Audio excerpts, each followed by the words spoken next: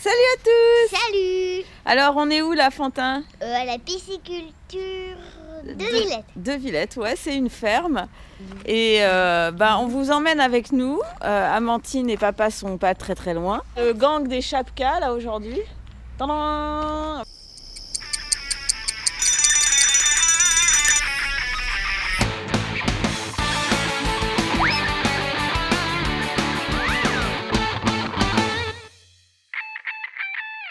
Ils sont là Ah bah t'as pas mis ta chapka toi Alex. J'ai pas de chacun. Chapka, chapka. Allez on y va La danse de la sauce. Donc on est à la pisciculture de Villette Allez, on va. et on va, je sais pas ce qu'on va faire, hein, on va voir, on vous emmène avec nous, c'est la surprise. Regardez comme c'est joli ici. Regarde la roue. Il y a une roue. Ah ouais, une vieille roue, ouais, une vieille roue de charrette. hein. Entrez, attends, attends, attends. Regarde ce qu'il y a marqué là. Entrez Ouais, lentement, lent- Vous entrez lentement. Hein. Lentement. Allez, Ah, allez. tout doucement. Je pense qu'on est bon là. Entrez. Lentement. On va pas, du coup, Mathilde. entrez lentement. Oh, mais qu'est-ce que c'est que ça ici? Vous voyez, ce sont des poisses, des bassins d'élevage. Ah, c'est génial. Ah, ouais, il y a des poissons là-bas. Regarde Fantin, il y a des gros poissons là. Ça, ça vient là, il y en a d'autres. Oh là là, mais là ils sont énormes. Ouais, ils sont.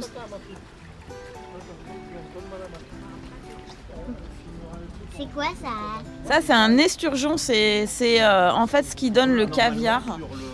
Tu vois, du caviar Caviar, c'est euh, oh là là, c'est quelque chose qu'on mange très très rarement. C'est un mets très très cher. C'est des petits œufs, en fait, des petits œufs de poisson. Mais ceux-là, ils donnent pas parce que ce sont des, des mâles. Tu vois, ils font pas de caviar ici. C'est la plus vieille pisciculture de France. Ah ouais Ici. Ah. T'as vu Amantine le gros poisson Euh, Ça a quoi comme bouche un petit peu Bah je sais pas, je vois pas sa bouche là. Oh là là, c'est chouette ici, c'est vraiment euh, la ferme euh, à l'ancienne, euh, comme quand, enfin ce qu'on s'imagine quand, voilà, on va pas souvent à la ferme, mais c'est vraiment génial. Alors toujours des bassins là. Donc elle expliquait que c'était les là les bassins où ils faisaient grandir les poissons ici. hein. Et après une fois qu'ils sont bien nourris, ils vont de l'autre côté. Viens, Oh des oies, il y a des oies. Voilà, faut pas s'approcher. C'est dangereux les oies. Après ça peut te croquer. hein. Est-ce que ça mord? Ouais, oh, c'est pas très dangereux non plus, hein, je pense pas. Ça va ma cocotte? Ça va ma cocotte?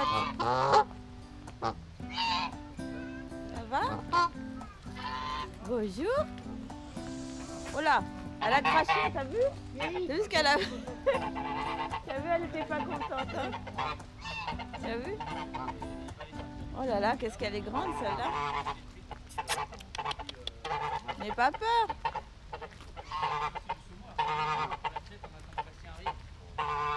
Je les suis en fait. Là, le, le pan, euh, pendant l'été, il perd ses grandes plumes Ouais. et elle repousse pendant l'hiver. Et au mois de mars-avril l'année prochaine, pour faire le beau devant les femelles, il pourra à nouveau faire la roue. Donc là, ce qu'on Ah, voit, c'est un petit bout de queue qui est en train de pousser, qui est vert. Et dans trois mois, elle fera 2 mètres de long. Ah la vache. Ça pousse à vue d'œil. Ah et, ouais. et il fera une magnifique roue à partir du mois d'avril.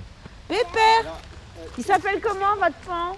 Il n'a pas de nom, mais par contre. Un pan, il faut jamais l'approcher trop près frontalement parce qu'il peut se défendre. C'est-à-dire qu'il Ah oui. saute sur vous, Ah il saute avec les ergots devant. Ah oui, ça peut faire. Donc euh, un pan, ouais. c'est pas un animal, euh, euh, euh, on peut pas le caresser. Ouais, c'est ça. C'est pas comme un canard ou une oie où on peut la toucher.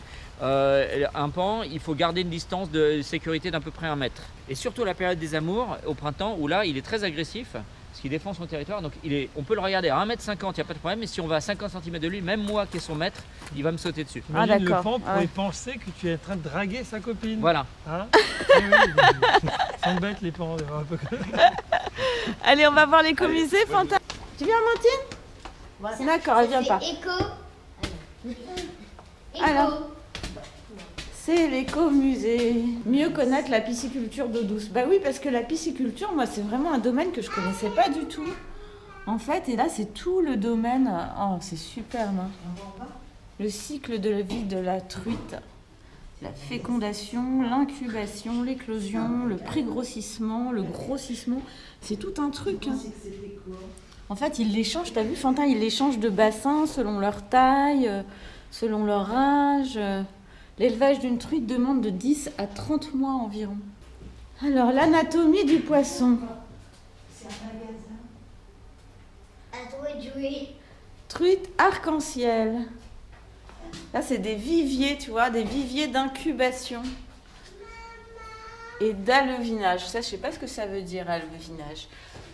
S'il y en a qui savent, s'il y en a qui savent parmi vous ce que ça veut dire, n'hésitez pas à nous le laisser en commentaire. Des cages à alevin. Oui, dis donc, c'est quoi? C'est tout le matériel pour la pêche, ça?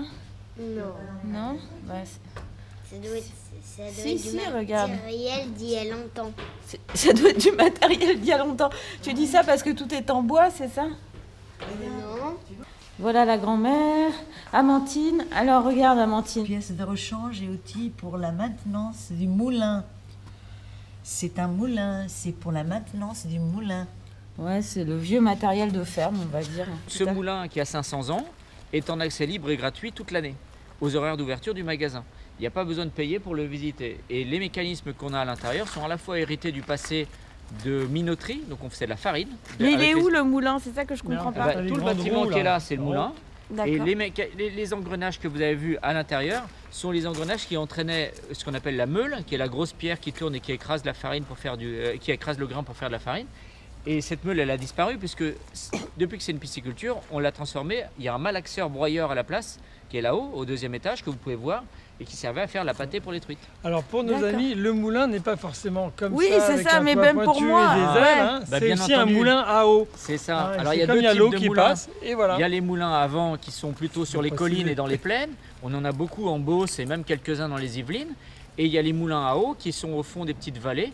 Ici, dans la vallée de la Vaucouleur, on a une vallée qui est incroyable puisqu'il y avait 40 moulins en fonctionnement il y a 100 ans. 40, moulins en 40, c'est fonctionnement. énorme. Et c'est la vallée où il y avait le plus de moulins dans toute la région parisienne. On va voir la grande roue. On passe Que- en arrière. Alors voilà, déjà le- l'engrenage. Alors hop, regardez cet engrenage là. Ah, épuise, tout ça, c'est énorme. Ah voilà. Toc. Bon, euh, là elle fonctionne plus. Hein. 25 ans qu'elle ne tourne plus. Alors elle tourne plus. Quand Bon, j'étais gamin, elle tournait. faut dire les pales sont un petit peu hein, euh, usées, euh, Ouais. comme on dit. Génial. hein. Alors juste je vais voir, je vais vous montrer, je vais essayer de la montrer Ouais. dans. Si je peux là. Hop là, voilà. Voilà la roue à quoi elle ressemblait. Toc. Et donc, quand elle fonctionnait, l'eau entraînait cette roue et faisait tourner les engrenages derrière, c'est ce qu'on appelle donc euh, voilà le moulin. Allez. Une plume de pan. Oh, une plume de pan. Oh, une plume de pan. c'est gentil. Une plume de pan chacun. T'as vu comme Dites merci. C'est dit merci à monsieur Avantine. Ah, Ça a c'est des couleurs incroyables. bien. c'est magnifique. Ah oui. C'est normal. On est en train de trancher des saumons qui ont été élevés en Écosse. C'est de l'écossais euh, euh, labellisé. Et c'est euh, vous qui l'avez fumé. on le fume ici. Moi, je suis maître fumeur. Et on le tranche à la main et on le reconstitue à la main. Voilà. Donc, Regarde, regarde, pas le tranche à saumon la main. Vous avez. euh, On peut pas l'élever ici parce que ça s'élève en eau de mer. D'accord. Donc euh, on, on peut pas l'élever dans les eaux de la, notre rivière ici, qui est la Vaucouleur, qui n'est pas salée évidemment. D'accord. Non, c'est un boulot. Hein. On croirait pas comme ça, tu vois. Alors, euh, c'est très particulier. Ici, on est vraiment dans le cas du- d'un saumon très haut de gamme, euh, tout fait main. C'est rarissime. hein. Les trois quarts de ce qu'on mange en France, c'est fait en Pologne ou euh, Ouais. dans des usines. Euh, donc là, on est vraiment sur du fait main et vendu uniquement sur place.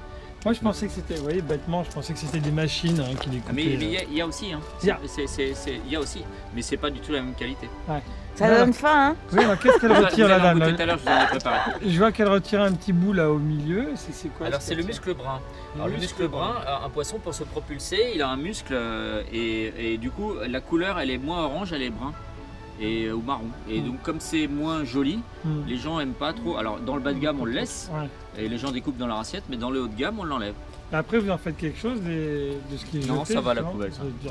Alors c'est vrai que dans l'industrie c'est récupéré pour faire euh, des arômes saumon, pour euh, par exemple euh, les apéricubes au saumon, quoi, oui. Ah ouais, ah bah on mangera plus d'apéricube alors. Voilà.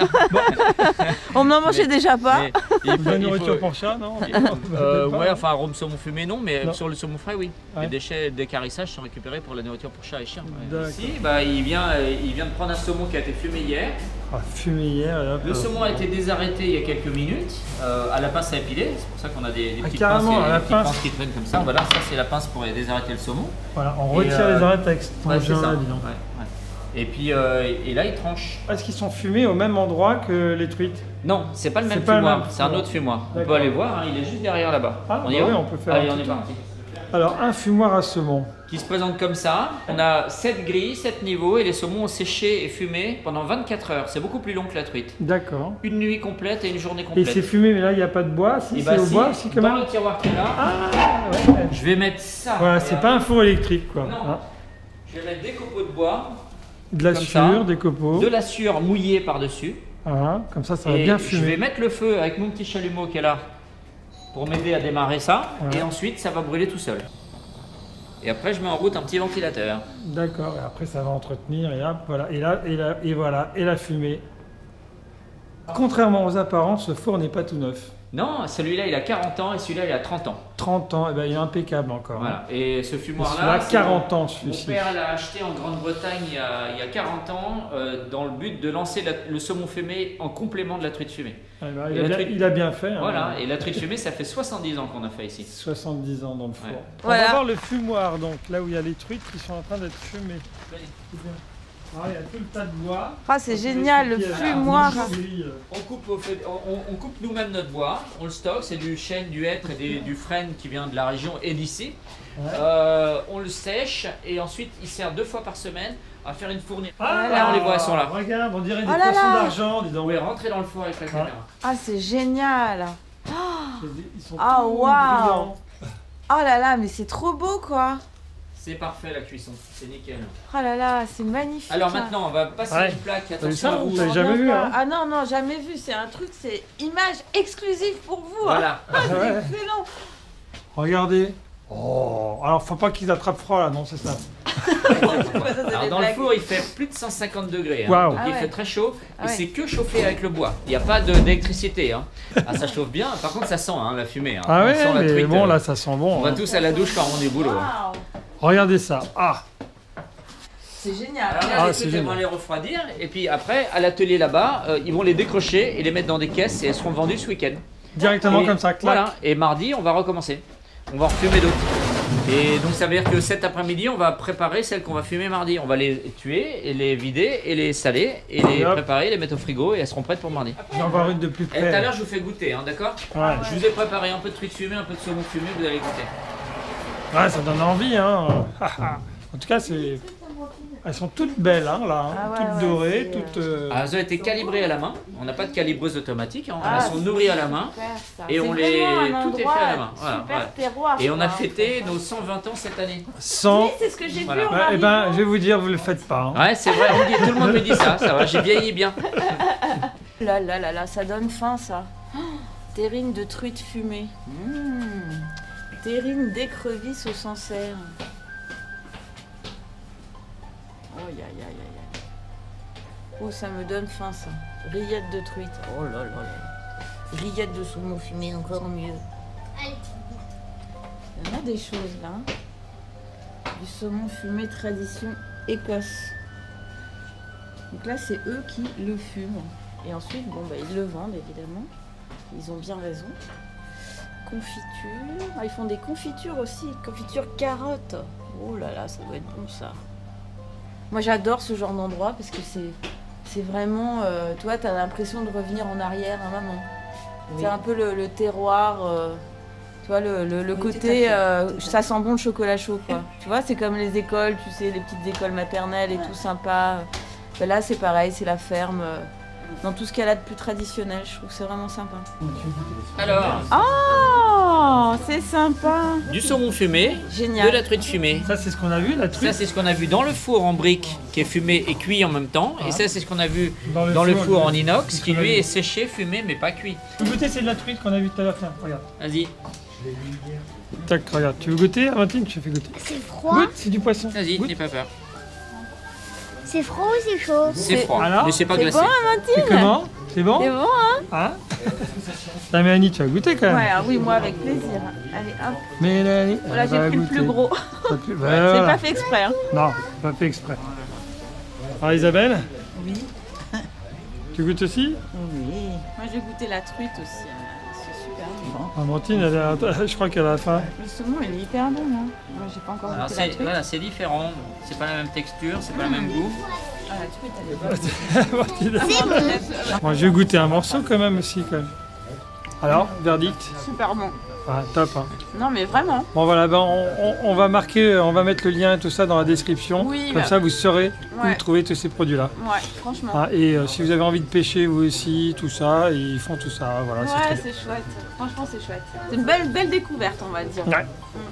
Ah ben on s'est régalé, hein. c'était vraiment euh, super. Hein. Cet endroit, Vous avez aimé de les derrière les, les minous on a appris plein Ouais. de choses. Ah ouais. On a truite fumée sur le saumon, Ouais, tout ça. ouais, En plus, c'était très bon. Ben, on est super contents, on espère que ça vous a plu, euh, cette petite découverte euh, ben, des poissons, de la façon dont on les fume et tout ça. Nous, on a- en tout cas, on a trouvé ça passionnant. Et euh, on vous engage à regarder notre sujet euh, sur notre pêche. car Ah nous oui. avons pêché aussi. C'était top. Allez, abonnez-vous, partagez. Bisous. Ciao, ciao. Ciao, ciao.